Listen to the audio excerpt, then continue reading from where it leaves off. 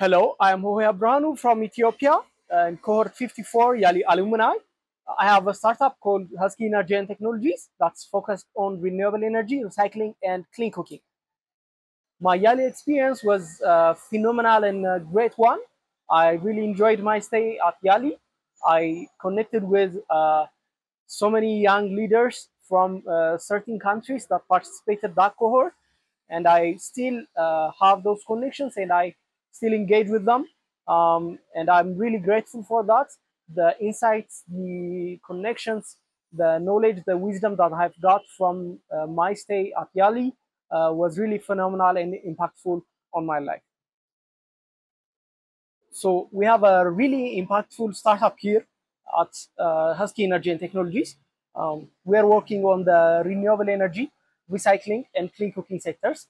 We turn coffee waste into pellets and briquettes so that, that they could uh, substitute the use of firewood and uh, charcoal that's made from uh, taking down uh, trees.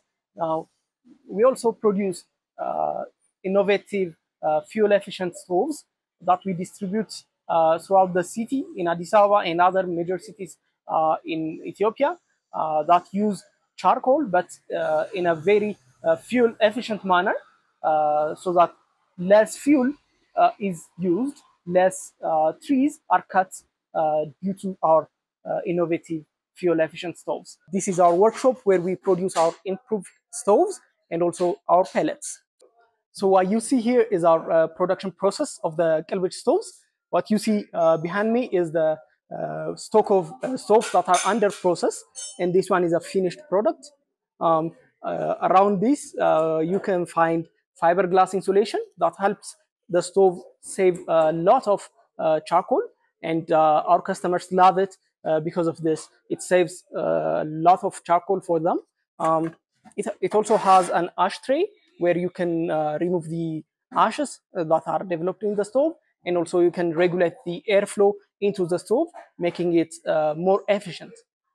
Um, and we are working with uh, this NGO that we have, uh, are partnering with to uh, mass distribute these uh, stoves for the rural areas.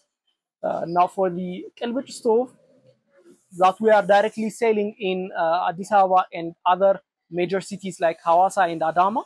Um, we are uh, we have sold around uh, more than uh, 900 stoves so far since July last year. So we have employed six people in our startup that work in the production of the stoves, the distribution of the stoves and the office activities.